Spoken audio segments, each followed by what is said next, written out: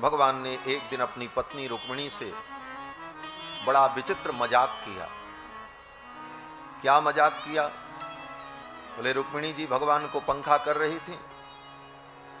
तो भगवान ने रुक्मिणी जी से कहा, देवी, एक बात बताओ, क्या सोच करके आपने मेरा वर्ण किया? आपको चाहने वाला शिशुपाल था बड़े बड़े राजा आपको चाहते थे। लेकिन आपने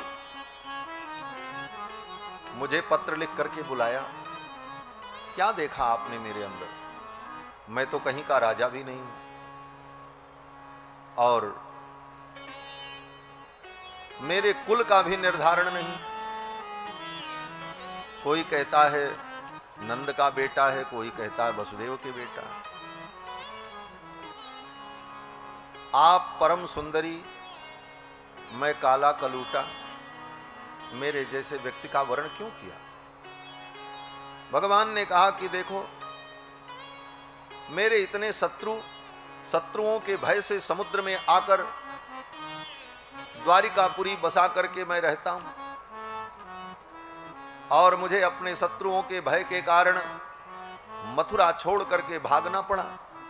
आज तक बड़े बड़े राजा भरी सभा में मेरा अपमान करते कहते अरे, ये कृष्ण वही तो है, भगोड़ा, जो भाग गया था। कृष्ण का एक नाम ही पड़ गया, भगोड़ा। हाँ। कौन से कृष्ण का? बोले, द्वारिकाधीश कृष्ण का। आज भी द्वारिका में जाओ तो वहाँ क्या जय बोली जाती है? बोले, द्वारिका में यही जय बोली जाती है, रणछोर राय की जय। तो रणछोर राय का मतलब क्या हुआ? बोले, रण छोड़ करके जो भाग गया, युद्ध छोड़ करके जो भाग गया उस भगोड़े की जय। सीधा सीधा अर्थ तो यही। भगवान ने कहा, मेरे जैसे व्यक्ति का आपने वर्ण किया, ये उचित नहीं किया। लेकिन हे देवी, अभी भी कुछ बिगड़ा नहीं है। अथात मनोन रूपम वही भजस्व क्षत्रिय ऋषभम देवी, अगर आप चाहो तो आप अपने मन के अनुकूल किसी छत्री को पसंद कर लो और उसके साथ चली जाओ। मुझे कोई दुख नहीं होगा। और मेरी कोई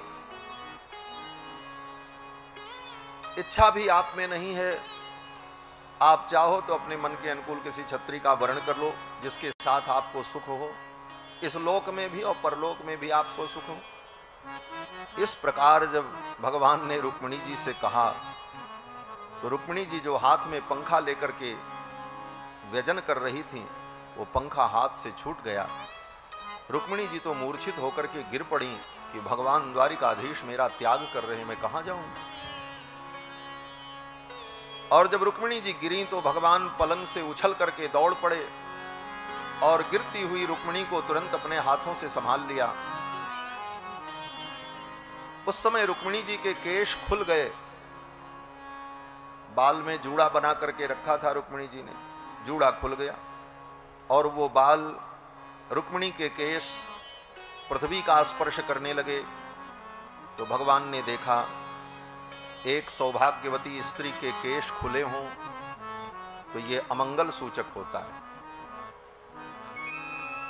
सौभाग्यवती स्त्री का केश खुला नहीं रहना चाहिए। गुथे हुए होने चाहिए, बंधे हुए होने चाहिए। खुल जाए तो तुरंत उसे गूथ लेना चाहिए। रुक्मिणी के केश जब खुल गए तो भगवान ने चतुर्भुज रूप धारण कर लिया उसी समय। दो भुजाओं से भगवान ने रुक्मिणी को संभाला और दो भुजाओं से भगवान ने रुक्मिणी के केस को बांधा। केसान समूह तद वक्त्रम प्रामृजत पद्म पाणिना इसलिए सौभाग्यवती स्त्री को कभी अपने केशों को खुला नहीं रखना चाहिए। ये उपदेश है। सौभाग्यवती रुक्मिणी के केश खुले, ये तो अमंगल है।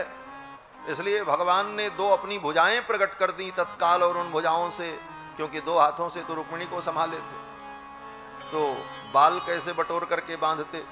तो भगवान ने दो भुजाओं को और प्रकट कर दिया और अपनी उन दोनों भुजाओं से रुक्मिणी के केश का ग्रंथन किया।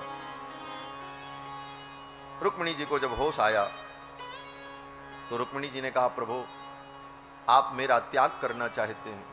भगवान ने कहा, नहीं नहीं देवी, मैं तो मनोविनोद कर रहा था कि ऐसा कहने पर आप नाराज़ हो जाओगी, मुझसे लड़ाई करोगी, क्रोध में मुझे कुछ कहोगी तो मैं देखूँगा कि मेरी रुक्मिणी का मुखमंडल कैसा लगता है। क्रोध में मेरी रुक्मिणी कैसी लगती है, यह देखने के लिए मैंने ऐसा कहा। क्योंकि रुक्मिणी जी ने कभी क्रोध किया ही नहीं। कभी भगवान से कोई असंतोष नहीं रुक्मिणी जी को, इसलिए रुक्मिणी जी के भामिनी रूप को, क्रोधवती नायिका के रूप को भगवान ने कभी देखा ही नहीं। इसलिए भगवान ने ऐसी मज़ाक की, लेकिन रुक्मिणी तो रोने लगी। भगवान ने कहा, देवी, मैं आपका परित्याग नहीं कर सकता। ये सब मनोविनोद भगवान के गृहस्थ जीवन का अंग है। और इस प्रसंग में भगवान ने कहा भी कि अयम ही परमो लाभो गृहे सुगृह मेधिनाम याम प्रियया भीरुभामिनी हे देवी, गृहस्थ जीवन का ये सुख है। अयम ही परमो लाभो। गृहे सुगृह मेधिनाम यन नरमैर नियते याम।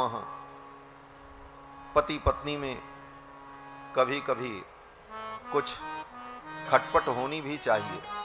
अयम ही परमो लाभ, भगवान कहते क्यों बोले? ऐसा होने से प्रेम, स्नेह नूतन और नवीन हो जाता है और फिर उस प्रेम में नई ऊर्जा उत्पन्न हो जाती है।